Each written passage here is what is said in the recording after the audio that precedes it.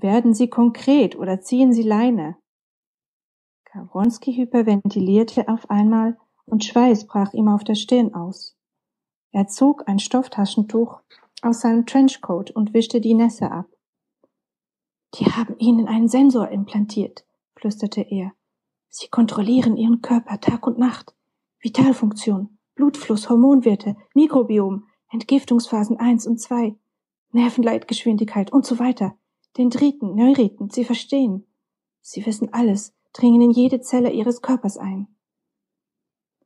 Der Architekt verstand überhaupt nichts und kam sich vor wie in einer Fernsehsendung, in der man Leute veräppelt und sie heimlich dabei filmt.